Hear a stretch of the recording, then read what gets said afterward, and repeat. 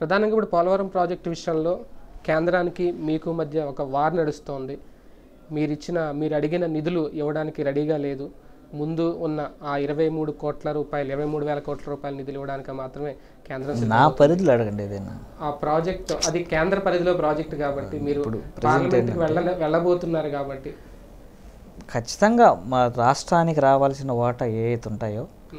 అవి ఖచ్చితంగా మేమంతా క్వశ్చన్ ఎంపీగా రాష్ట్రానికి రావాల్సిన దాని మీద ఏ పాయింట్ మీదైనా మీకు రేట్ చేసే అధికారం హక్కు మీకు ఉంటుంది. ఉంటుంది కాబట్టి ఖచ్చితంగా రావాల్సినవి ఏవైతే ఉంటాయో వాటి కోసం ఖచ్చితంగా క్వశ్చన్ చేస్తాం పోరాడతాం వాటి గురించి.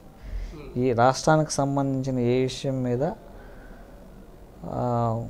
గమ్మునే ఉండే ప్రశ్న అయితే ఉండదు. ఖచ్చితంగా క్వశ్చన్ చేస్తాం.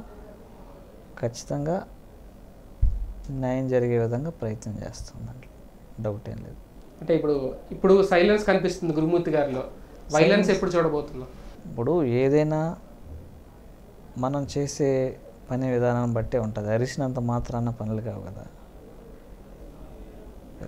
ప్రత్యర్థులు మీ మీద ఆరోపణలు చేసినప్పుడు మీ గళం మీ వాణి మీ అరుపు వినబడకపోతే ఒకటి నేను ఏ విమర్శలను పట్టించుకోను. కేవలం నా దృష్టి అంతా సమస్య పరిష్కారం మీద సమస్యల మీదే ఉంటుంది. నా నేను నా నా కర్తవ్యం అది పని చేయాల్సిన కర్తవ్యం. వాళ్ళేదో వీళ్ళేదో అంటున్నారని నా ఎనర్జీని కానీ అటువైపు డైవర్ట్ చేయను నేను. మన పని మనం చేసుకుంటూ పోతే ప్రజలే తీర్పిస్తారు.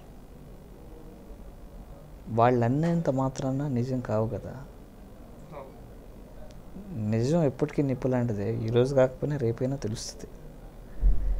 ఇప్పుడు సోషల్ మీడియా వచ్చింది వచ్చిందని తెలియకుండా పోవు కదా.